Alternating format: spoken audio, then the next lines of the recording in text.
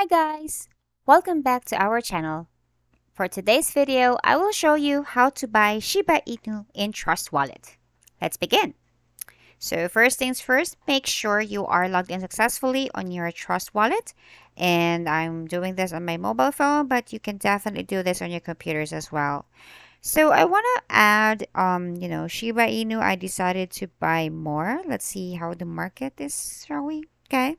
So it's very simple to buy Shiba Inu, guys. And then I will show it to you now. So you see right here, you have send, receive, buy. So hit on buy. So we do have other video tutorials for other cryptocurrency, um, you know, how to buy that in Trust Wallet. Please subscribe to our channel so you get to learn more and earn more in cryptocurrency. So in this case, let's continue. I will buy Shiba Inu. So I will, the one that I have is the one that's on Binance Smart Chain Network. And I just want to add um, like worth $50.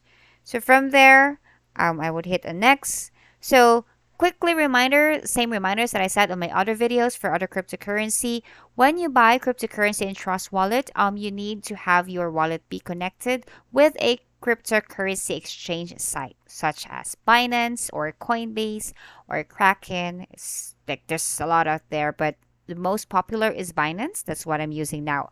So say I would want $50 worth of Shiba Inu. Um, I would need to log in to my Binance account. So in this case, even if like, you know, it's showing here, my credit card is already set up as well, but I still need to log in.